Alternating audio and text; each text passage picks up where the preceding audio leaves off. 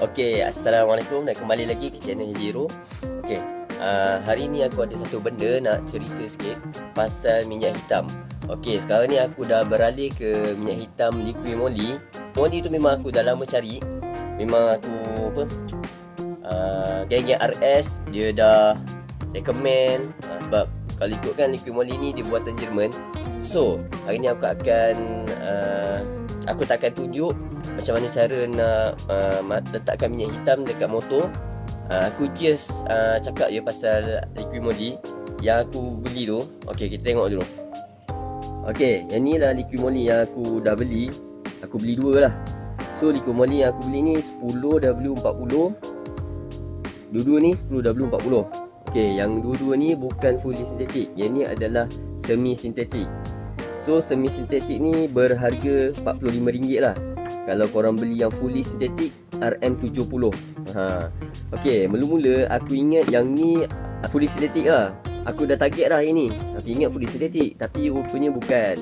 So yang fully synthetic yang berharga RM70 So dia agak mahal.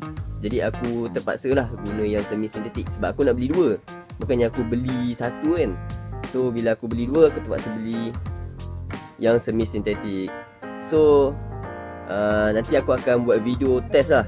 Uh, sama ada sedap ke tak? Aku pakai liquid moly ni 1040 semi sintetik so nantilah korang tengok lah aku akan ride uh, by the way esok cadangnya nak pergi ride lah.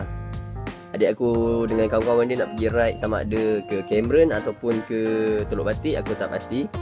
So dekat situ aku boleh test. Uh, aku akan rasa dan aku akan beritahu lah uh, macam mana Ah, rasa dia daripada Petronas F900 ke Liquid Moly 10W40 so itu je lah. Uh, sampai sini saja. Nanti aku akan test dan aku akan buat video macam mana uh, perasaan aku lah uh, bila aku guna Liquid Moly ni.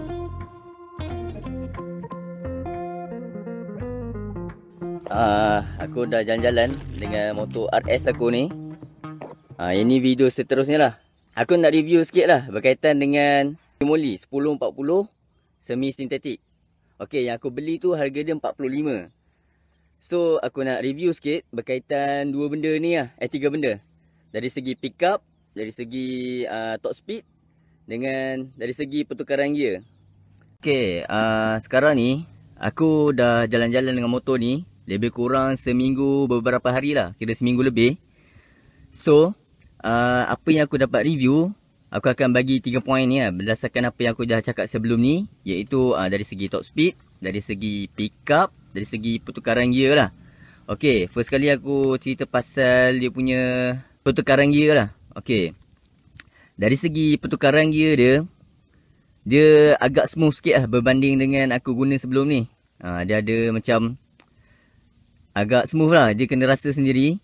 So point yang kedua berkaitan dengan pickup. Okey, berkaitan dengan pickup ni kan untuk uh, RS, siapa yang guna liquid moly 1040 tu yang semi sintetik, dia punya pickup dia um, agak menakjubkan sebab aku dah naik dengan ayah aku lah. Uh, aku dah naik dengan ayah aku bawa motor ni. Uh, memang terbaik lah pickup dia. Ayah aku badan dia berat. So memang kalau naik double, peh, memang sedap lah.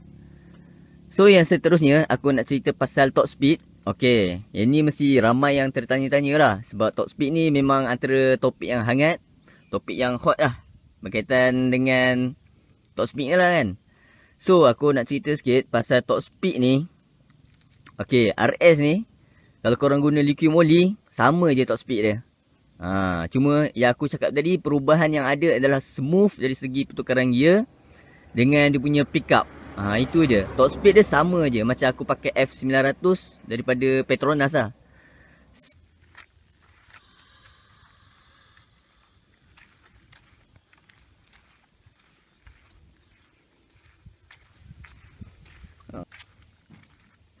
Alright, mungkin setakat ini je lah. Aku tak ada nak cerita panjang. Aku cuma nak review pasal uh, minyak enjin yang aku guna tu. So, uh, tunggu dalam next video lah. Okay. Korang dah tengok video tadi kan? So, uh, itu je lah aku nak review pasal motor ni. Pasal motor ni dengan minyak enjin yang aku dah guna.